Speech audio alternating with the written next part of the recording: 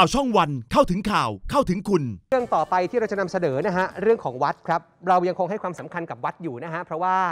สุดท้ายแล้วชีวิตเราก็ไม่ว่าจะยากดีมีจนเหมือนเดิมแล้วฮะต้องไปจบกันที่วัด ซึ่งไม่ว่าวัดนั้นจะหรูหรือไม่หรูอย่างไรก็ตามดูเหมือนว่าโควิด -19 นั้นจะสลายกรอบทุกอย่างออกไปหมดสิ้น แล้วภาระที่ตกเป็นของวัดนั้นถือเป็นเรื่องที่ต้องพิจารณากัน ก่อนหน้านี้ก่อนกรณีที่ญาติผู้เสียชีวิตจากโควิด -19 เนี่ยไปถูกเรียกเงินจากสับปเหร่อที่วัดแห่งหนึ่งเนี่ยนะฮะ 7,500 บาทนะ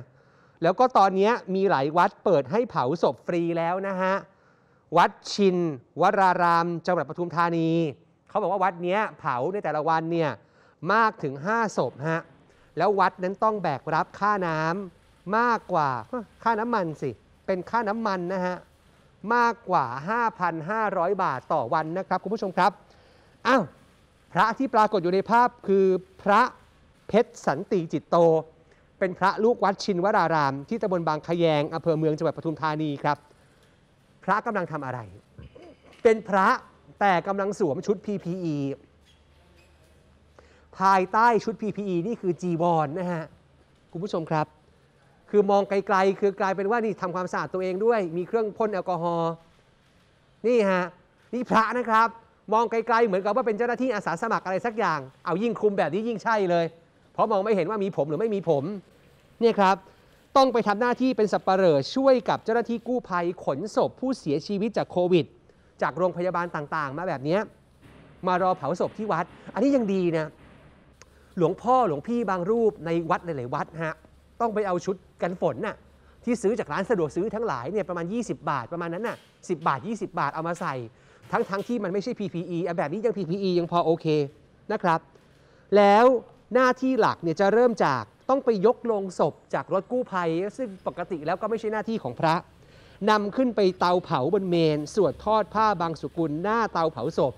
เพื่อให้ญาติโยมนั้นได้มีโอกาสเข้าไว้อาลัยแต่แต่ห้ามมีเวลาจำกัดนะฮะ ไว้อะไรแป๊บเดียวเท่านั้น ไว้อาลัยได้มีข้อแม้อย่างเดียวเอง อย่าเปิดโลงเด็ดขาดนะฮะอย่าเปิดโลงเด็ดขาด เรื่องถุงซิปไม่ต้องพูดถึงอย่าไปแตะ ไม่แม้แต่จะคิดว่าขอแง้มดูนิดนิดห้ามทำเด็ดขาด เพราะนั่นคือการกระทำที่เห็นแก่ตัว ผมใช้คำนี้ครับ เห็นแก่ตัวนะฮะ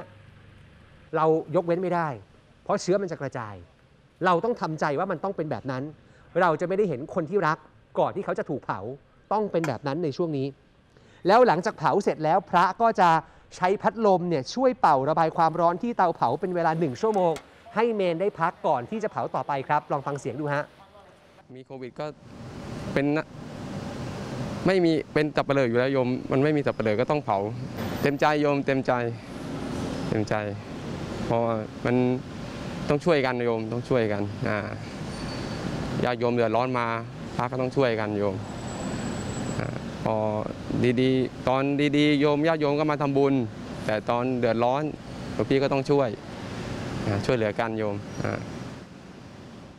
อะเนี่ยครับแล้วก็สำหรับวัดนี้นะครับเป็นอีกหนึ่งวัดที่เปิดรับเผาศพโควิดฟรี ไม่มีค่าใช้จ่ายนะฮะแม้ว่าในแต่ละวันเนี่ยวัดจะต้องแบกค่าภาระภาระคือหนักมากคือชุด PPE ด้วย มีค่าน้ำมันด้วยนะฮะอะคุณดูนะครับ ค่าน้ำมันดีเซลเนี่ยเฉลี่ยคือ 200 ถึง 400 ลิตรต่อวัน อันนี้ที่วัดนี้ใช้วิธีการเผาแบบต้องใช้น้ำมันนะฮะ รวมเป็นค่าน้ำมัน 5,500 ถึง 11,000 บาทต่อวันอะผมเชื่อว่าตรงนี้ใครก็ตามที่อยากจะช่วยเหลือจุนเจือ ก็จริง ๆ แล้วเนี่ยหาทางบริจาคกันได้ไอ้แบบนี้ควรได้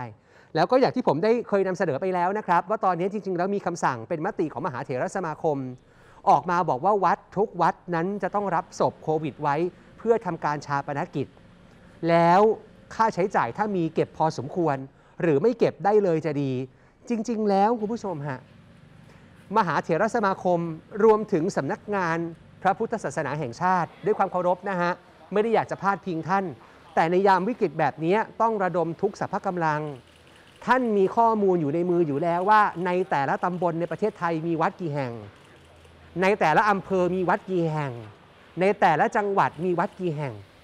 และทุกหน่วยทุกยูนิต ไม่ว่าจะใหญ่หรือเล็กมีเจ้าคณะประจำอยู่